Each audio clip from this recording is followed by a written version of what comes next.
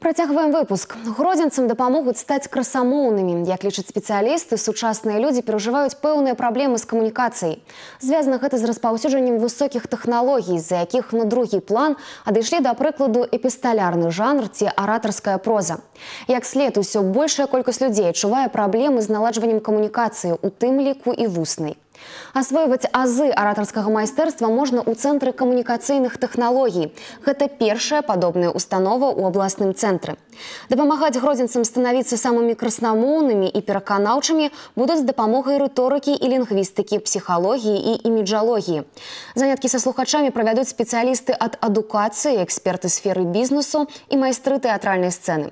Плануюць ахапіць увагай школьнікаў і студэнтаў, а яшчэ прадстаўнікоў тых прафесій, поспех якіх залежыць от слова.